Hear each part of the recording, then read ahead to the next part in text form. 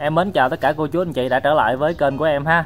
Sau vụ Tết á, thì ờ, team anh em á, thì sẽ à, trồng cà pháo cũng như bữa giờ em cũng có là livestream chia sẻ cho anh chị về cách trồng bí hồ lô và cà pháo đó. Hôm nay thì em ờ, quay cho anh chị xem một cái mô hình là trồng cà pháo ờ, kinh doanh nha anh chị ha. Có lên clip hẳn hồi hết. Thì cái mô hình này á, là chuẩn bị là xen canh với là cây húng quế nha anh anh chị ha thì đối với cái cà pháo này á thì anh chị nào mà cần mua hạt giống thì anh chị cứ liên hệ cái số điện thoại ở bên em ha còn bên dưới đây là bắt đầu là ươm cái um, cái húng quế nè. Còn anh chị nào mà, mà muốn mua húng quế thì cứ liên hệ kênh ờ, vlog của anh ờ, mừng gò công ha. Thì uh, trồng như vậy thì nó rất là ok nha anh chị ha. Thứ nhất là mình sẽ ăn được hai đầu. Một đầu là cây cây cà pháo của mình nè cũng như là một đầu là cây húng quế nha anh chị.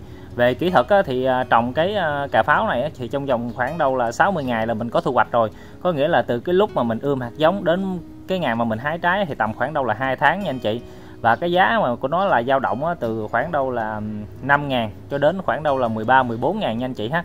Nhưng mà cái giá hiện tại em đang quay cái video clip cho anh chị xem là nó khoảng đâu là tầm 7 8 ngàn thôi.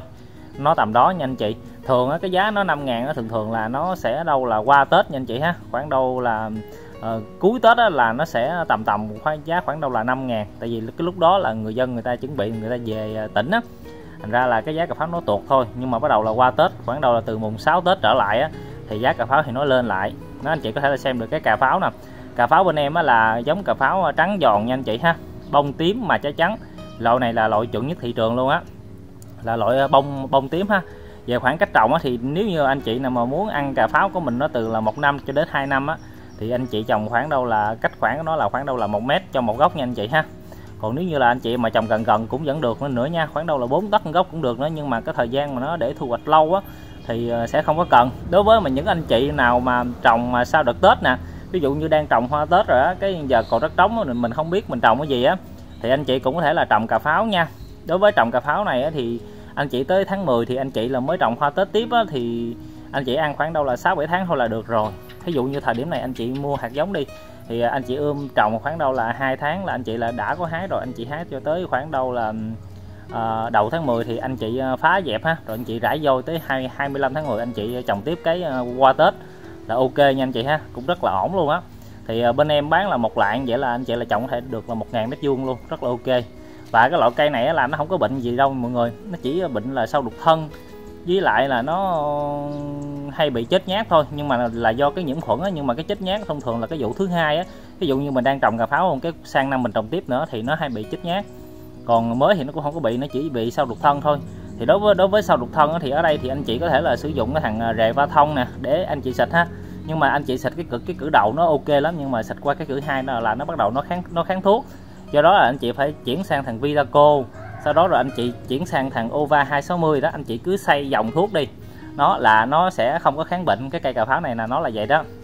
Còn về phân thuốc á thì ở cái thời gian đầu đúng không? Thì anh chị uh, ươm á thì uh, anh chị có thể là trồng ra rồi á thì anh chị có thể là sử dụng thằng DB cộng với thằng kích rễ.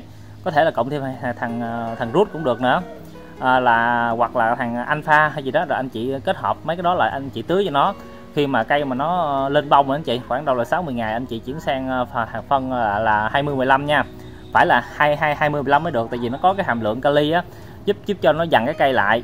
Còn nếu như mà anh chị tưới những cái dòng phân mà đạm cao quá cây của mình nó dược lắm trái nó rất là ít do đó thì nên tưới những cái dòng phân có hàm lượng kali là ok nha anh chị ha. Hoặc là anh chị có thể là mua cái hàng kali nhuyễn riêng anh chị uh, tưới riêng nó cũng được nữa.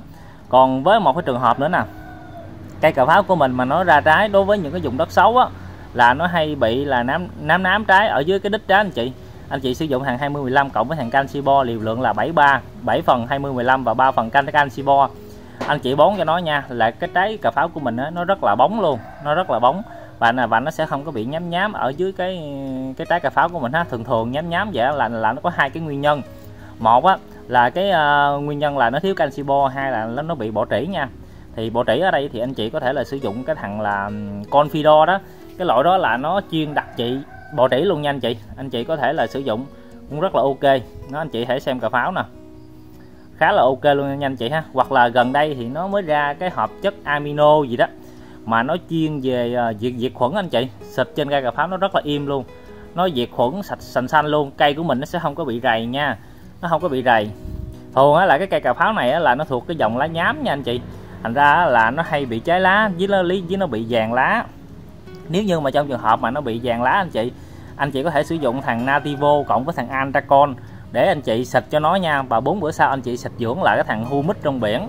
Nó, còn hoặc là muối cây của mình mà nó muốn mà cho nó phát triển nhanh anh chị, đâm chèo này nọ đó, anh chị kết hợp sử dụng thằng Atonit nha. Khoảng đâu là 10 ml cho cái bình là 16 lít nước là được, hoặc là 20 gì đó, anh chị xịt là rất là im. Đó. Còn về mà khoảng cách trồng, anh chị có thấy thấy không? Trồng rất là thưa luôn, cái này là quay hơi quay vào cái buổi chiều nha anh chị. Thành ra là nó hơi mờ anh chị xem thông cảm đi. Với lại á trồng cà pháo này á chủ yếu là nó đủ cái lượng nước anh chị có thể thấy nè. Bên em là đi cái hệ thống ống nước nó rất là ok luôn. Mà một và, và và cái mô hình này là trồng sen canh nha anh chị ha. Cà pháo này trồng sen canh được rất là nhiều loại cây. Ví dụ như là cây ờ, cây mít nè rồi ờ, cây này cây kia nữa. Nhưng mà mô mô, mô cái mô hình này á, thì ờ, đang sen canh với cây quế nha anh chị. Hiện tại là quế nó cũng đang lên rồi đó.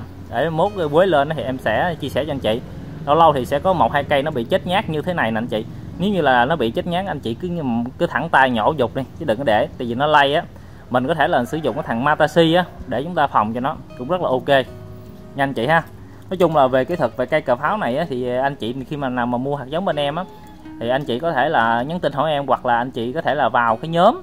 Bên em có cái nhóm mà hội trồng cà pháo này cũng gần là ba ngàn mấy người rồi thì anh chị vô chổng anh chị trao đổi anh chị có thể là tìm được lái ở, ở trong đó luôn. Rất là ngon nha anh chị ha. Rất là ok luôn. Chúng nói chung là bên em là hỗ trợ hạt giống cho anh chị hạt giống là bao lên nè rồi với lại là giống trắng giòn hỗ trợ kỹ thuật cho anh em luôn. Và có cái nhóm để cho anh em tự tìm đầu ra ở ở ở cái khu vực mà anh anh chị đang ở luôn. Nó khá là ok. Đó anh chị xem ha. Lâu lâu thì nó bị uh, trái đìa lá vậy thôi à. Thường thường là những cái dòng thuốc nóng là nó mới trái trái đìa lá thôi không thì nó cũng không cũng không có bị nữa rồi thôi, hôm nay em ờ, chia sẻ cho anh chị một xíu kinh nghiệm vậy cũng như là giới thiệu về về sản phẩm ở bên em ha. Anh chị nào cần thì cứ liên hệ em. Là về hạt giống cà pháo còn quế hay gì đó thì cứ liên hệ anh Bần Gò Công nha. Rồi em cũng xin được mến chào và hẹn gặp lại anh chị sau.